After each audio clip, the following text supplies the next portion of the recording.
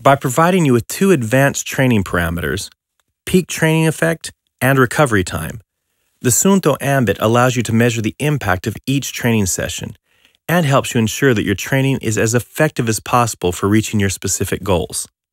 You've probably heard about training effect and recovery time, but let's just go over what these measurements tell you about your training session.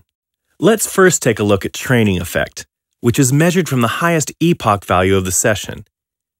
EPOC stands for excess post exercise oxygen consumption, and it tells you how much additional oxygen your body needs to recover from the training session. As you can see from the yellow line, EPOC starts accumulating from the very start of this one hour session.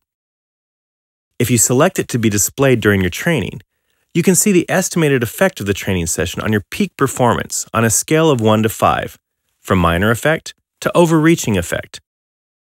As you can see from the two bars on the left side of the graph, the same training session has different impacts on peak performance depending on your fitness level. For the fitter person, represented by the right bar, the session has a training effect of 4, while for the less fit person, represented by the left bar, the same session has an overreaching effect of 5. It is important to realize that because training effect only refers to the effect on peak performance, it does not increase after the peak EPOC has been reached. It is therefore perhaps more useful to think of training effect as peak training effect. In other words, the impact a training session has on your maximal aerobic performance, or VO2 max.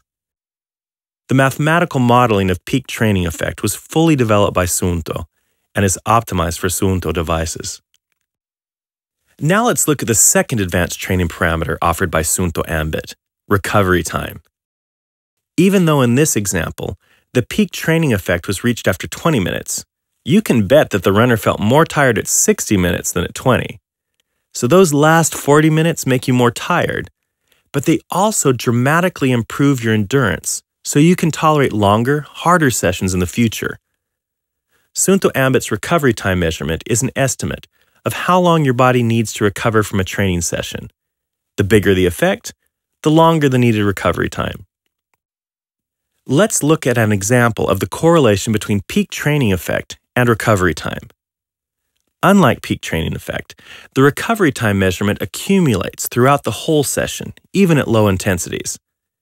Recovery time tells you more about the effect your training has on your base endurance and is therefore a very useful addition to the peak training effect measurement.